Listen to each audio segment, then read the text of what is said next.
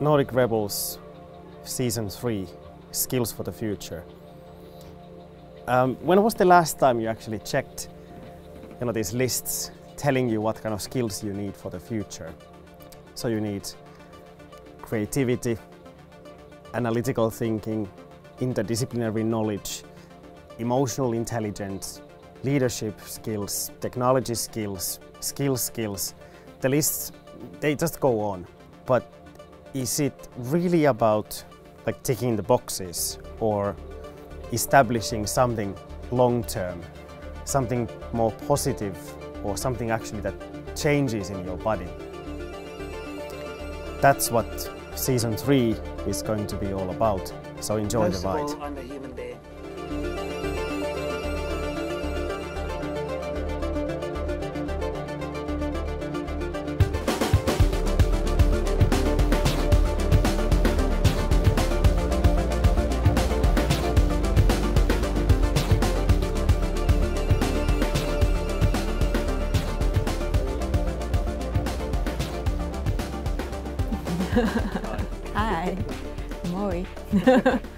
Yeah, uh, my name is Miikka. I'm JJ. So we, uh, uh, yeah, we? Yeah. yeah. Well, nice to meet you. Likewise. Likewise. I, I'm feeling a bit nervous about this. Yeah, me too. well, relax. Okay, okay, okay. One, two, three. I have a good feeling um, I'm gonna enjoy your your thoughts on this.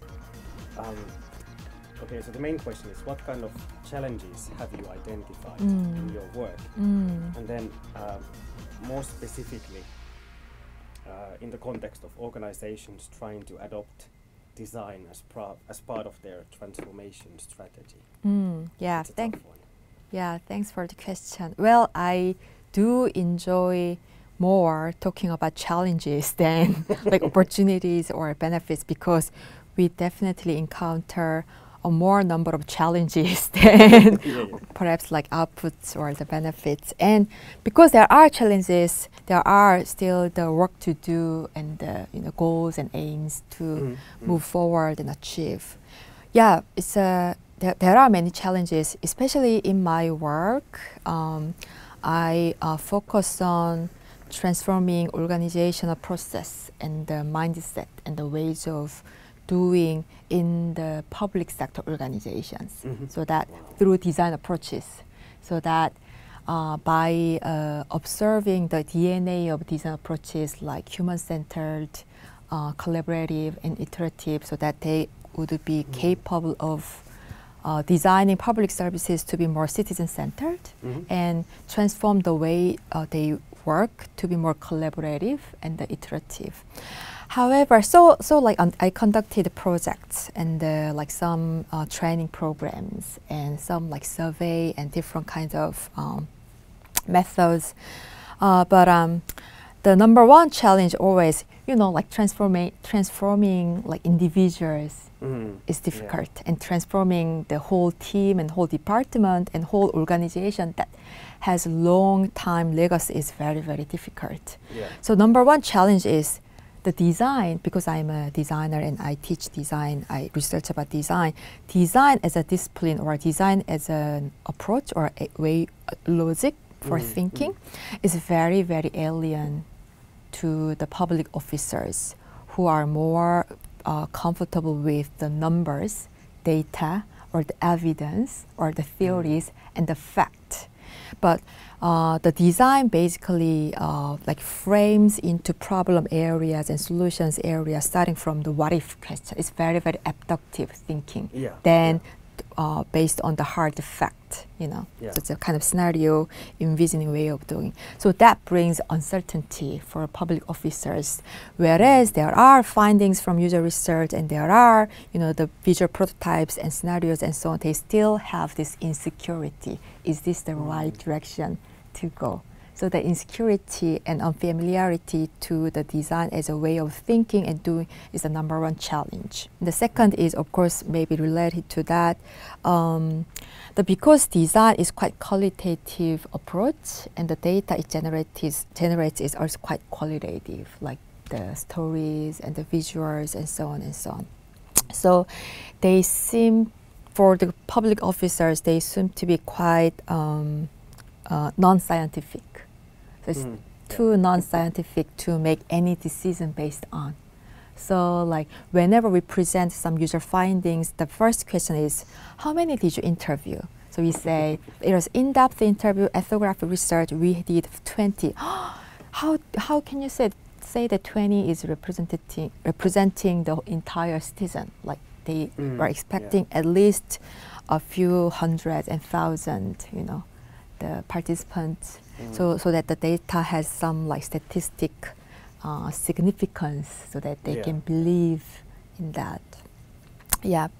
Um, and another thing is um the siloed way of working, because nowadays the problem that we are trying to solve is very very complex, Mm. open, dynamic, and network. Yeah, So it's not that one department or one expert can solve the problem, right? So it it inv- it it needs the involvement of different expertise and different departments. However, that's not really the way that they are used to do, right? Mhm, As you might uh, mhm. know.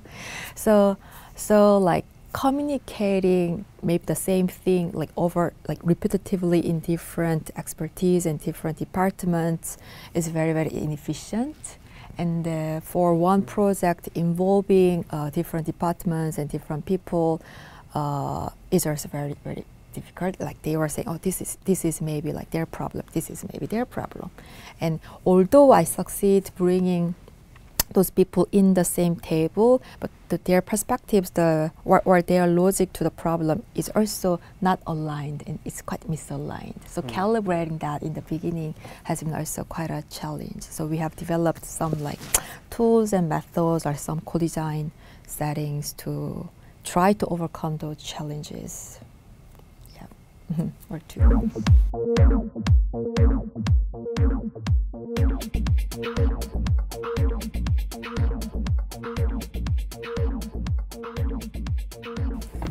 yeah. Yeah, it's kind of tempted. I'm tempted to say that change is not possible and stop the discussion. I, I guess we don't have to settle with that. Mm. Um, like JJ, I would like to hear more about this. Mm. Um, when you talk about using different tools and techniques to Mm. get people to work together, Mm. because like when I when I think about this, um, so I have I don't have any background or experience working in the public sector. Well, Mm. university, yes, um, and a bit of internships here and there. Um, but I, I fully understand that you know when you don't have any kind of KPIs or kind of certain Mm. measurements Right. promoting collaboration. So Mm. like, how do you actually go about? Um, so that's Mm. that's one thing that I would like to know more because I, Mm. I, I think that um, change really is possible if you introduce something else it's like something new to the context and at the same time when you understand that in the end it's really about people so like Mm. you know spending time um, kind of sp- spending time with with the other person like getting to know them and taking the space and time for that like hey we actually have things in common Mm. Mm. um, Actually, like yeah, like hearing what you said, actually, it would have been really, really cool if we have new forms of KPI, right?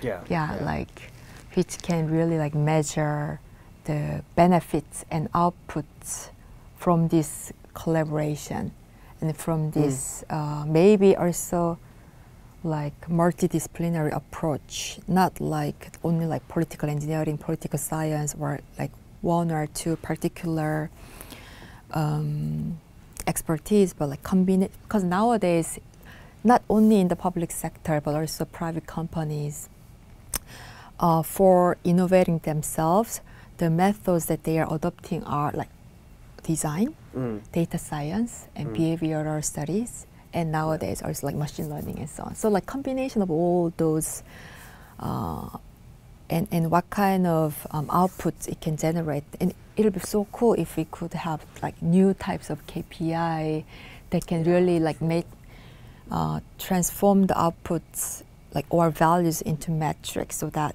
it can convince people. But I don't have that yet, Yeah, exactly. unfortunately. but that is very, very like I think one thing that we could really like think and try to have in the future. But um, in terms of the collaboration among like different expertise in the organization. One approach that we did based on the co-design, the notion Mm. of co-design. Actually, I conducted a project here in Aalto University. Okay. Okay. Um, so we were interested in coordinating and calibrating actually the language they speak. So when Okay, they wow. collaborate together, like although they talk about user, Yeah.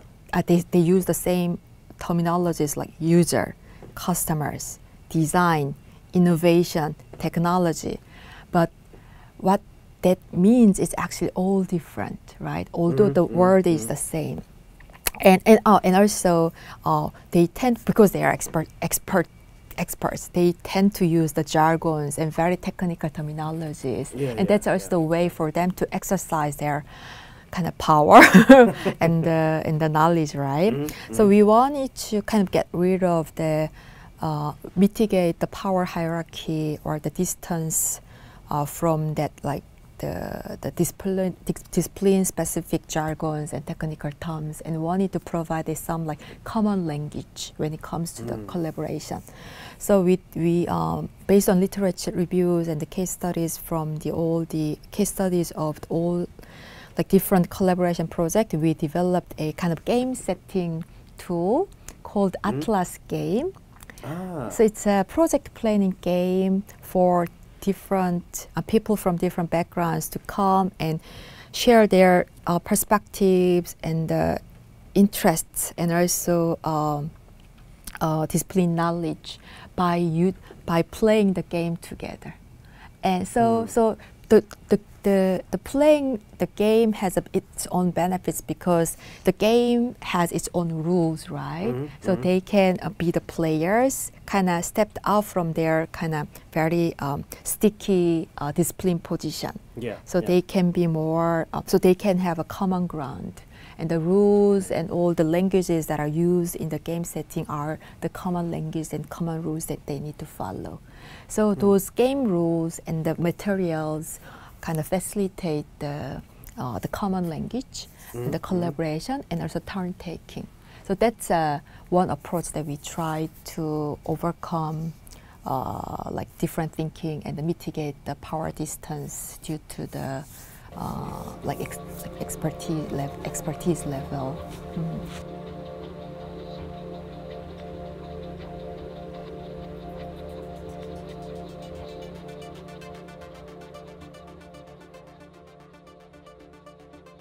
You are one of the people behind the Atlas. game. Yeah, yeah. Uh, you, you know Atlas game? Yeah, yeah, yeah. Ah, okay, good, good that you know. no, but sorry, I had no idea that you know that JJ, you were also behind hmm the team. Yeah, yeah. That's really cool. okay, Thanks. I need to. wow, I, I'm feeling nervous. um, I, I think that's really interesting what you Mm. mentioned about entering the game space Mm. because that's what we really need because we really use language Mm. as a way to kind of enact barriers and kind of shield ourselves Mm. because like the more language we know that others don't know then we have this exactly what you said like this kind of ivory tower of expertise Yeah. um, but it's it's the same thing like kind of when you d- described game and if you Mm. look at kind of game theories like not the Mm. economic side Mm. but more like you know what is a game like, Mm. it kind of feels um, or resonates with the Finnish sauna. Uh huh. You know, when you when you Right, in the sauna, everyone is on the same level, right? Right, Um, right. But it's That's that's yeah. a good analogy, I think. yeah. so maybe we actually need like maybe that's one thing that we need to create this kind of Mm. temporally bound Mm. spaces within organizations where we can Mm. kind of step in and then Mm. step out and then understand like how do we make connections with this experience in our daily life. Precisely, precisely. And if I may continue or add, Yeah. yeah, like the game setting or the sauna setting. So, um, so like, seems like like let's say the seems like they achieved some shared understanding. Mm, Then mm. Another question is how can we support the continuation? Oh yeah, yeah, when they step out from the you know shared zone. So it Mm. also happens that so because it has this kind of particular characteristics as a kind of workshop setting or co-design setting. Yeah, So they people yeah. come in and when they come out, they were like, okay, that was a fun session. Then Yeah, they were yeah. just so easy to get just immersed in conventional way of working and thinking. So how can we continuously like help them reflect and you know carry with uh, what has been discussed or what has been shared within that kind of like make believe setting Yeah, in yeah. their everyday work. That's another, yeah, I think important question. And actually, that reminds me of uh, question number uh, three. Uh huh. Um, so I've been told to ask, um, based on based on the discussion so far, can you Mm. suggest ways forward? And I think that's what you actually kind of just mentioned. But Mm. if you could just briefly um, kind of summarize, like I'm an idiot here, so can, can you kind of you know rephrase or like put it in a really short, concise, attention span friendly way? that, oh, that gives me a pressure.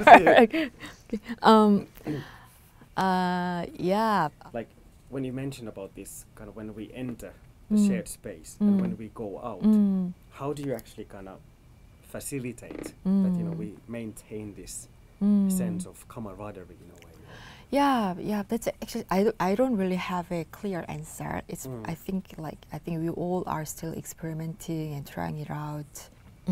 Oh, well, of course, one way is when we facilitate that make believe setting like sauna or the game Mm, or mm. co-design sessions, uh, uh, or setting up the session or the the setting the stage itself would be very very important in a way that people will think it as a real i mean it's, it's really related to their everyday work and like day-to-day uh, uh, practice not like a let's have fun or Mm, you know yeah. or some artificial setting so the, the setting from the beginning itself is very very important so that they they would take it seriously uh-huh.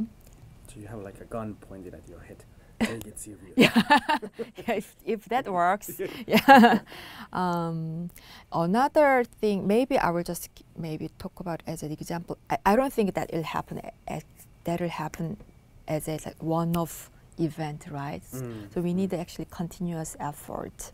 And in terms of, for example, like design thinking workshops, Mm, in uh, Singapore where I work, uh, there there has been already you know this um, fatigue in design thinking workshop. yeah, so like yeah. when they are they are asked to participate in the design workshop, uh, they they say, oh, is it another design thinking workshop? like I've been there, done that kind of thing. So Yeah. there there there is this fatigue. So another uh, approach that we tried was. Um, actually having the permission or the support from the top management Mm, uh, we uh, the, together with the innovation unit in one government agency, uh, we kind of um, create a long-term six-month project-based platform.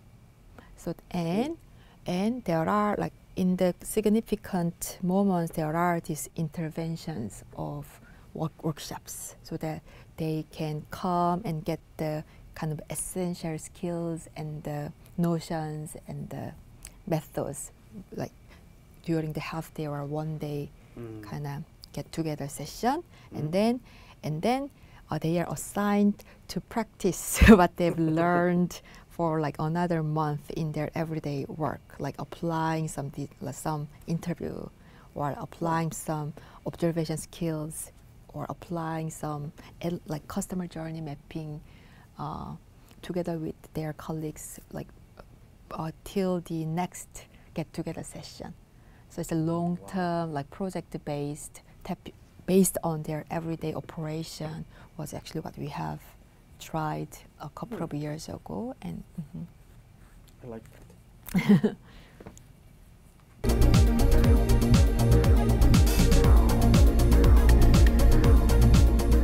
for the future, you know, Uh-oh. what would be the one main skill you think would be necessary for the future? Uh, I don't know if I can say that this is the one only skill or the one main skill, Mm. but what you mentioned about this kind of half a year Mm, platform mm, and this notion of being able to step in and out of different spaces, mm, I would say kind of perseverance.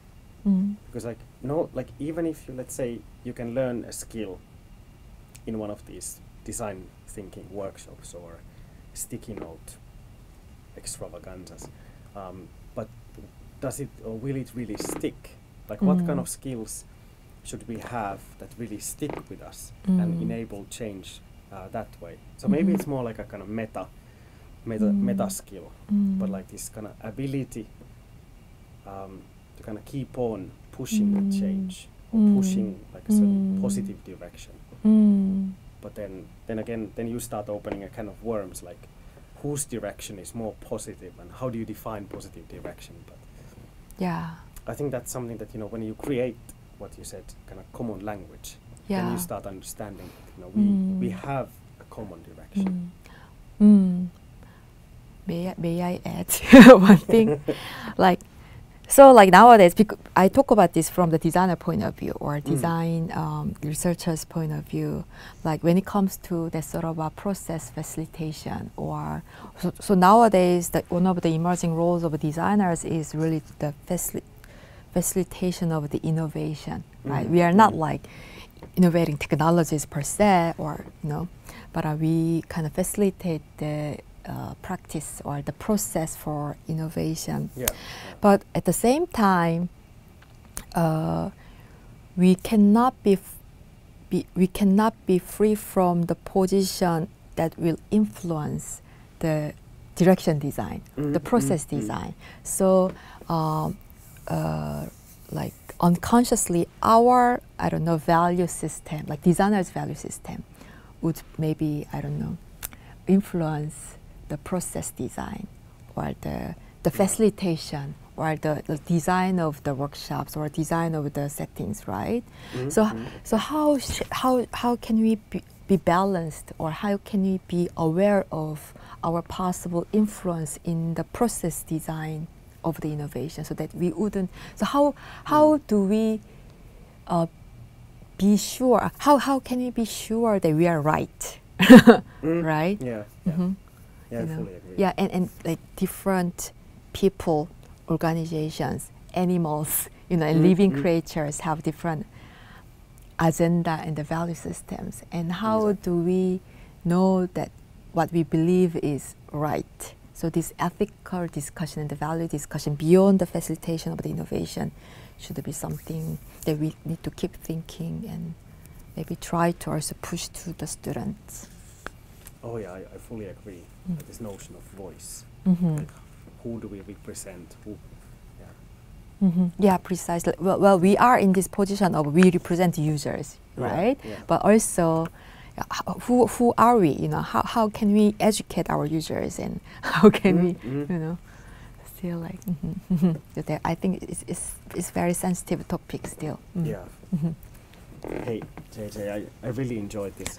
I, I think we should continue discussion as well. Yeah. Um, I, I, ho- I hope you enjoyed well. Yeah, yeah, very much, very much. I yeah, I hope anything that I said makes sense. Thank you so much for also like making this like atmosphere very relaxing and enjoyable. Mm. Likewise. I mean, this was a kind of Atlas game in a mini version without doing a game as such. right, right. We're like Okay. acting.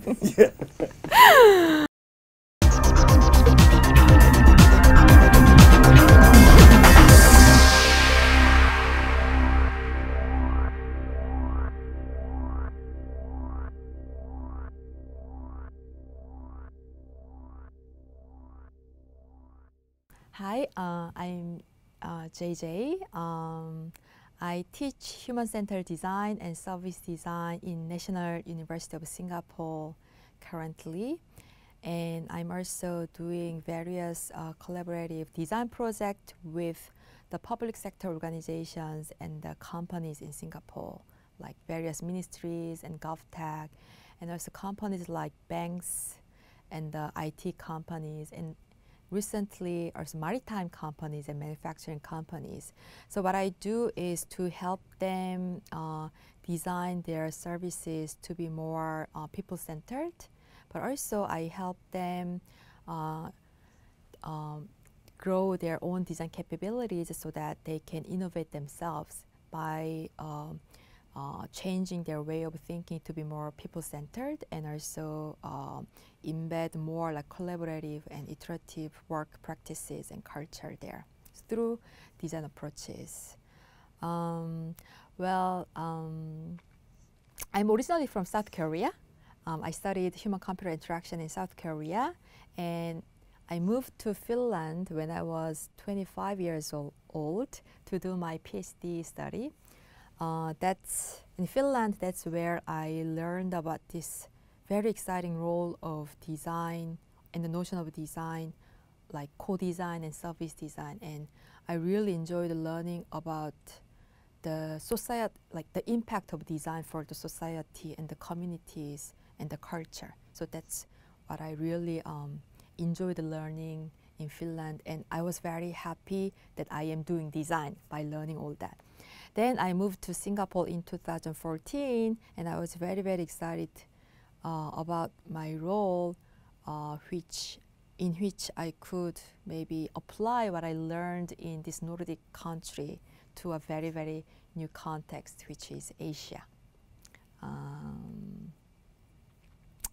and like working it up, like, and, and I'm especially nowadays interested in um, how the public sector organizations and government agencies in Asia are adopting design for innovating themselves. Because we've seen a lot of examples and the project in like what we call western culture in Europe and in America. But those kind of things are also happening in Asia which actually has very different um, governance styles history and the society and the culture then how design finds a role and a place in public sector transformation and how then the cultural dimensions and societal dimensions play a role in it is is what I am very very interested in. So I'm like very excited excited to follow that. Um, yeah, that's uh, basically uh, what I'm doing.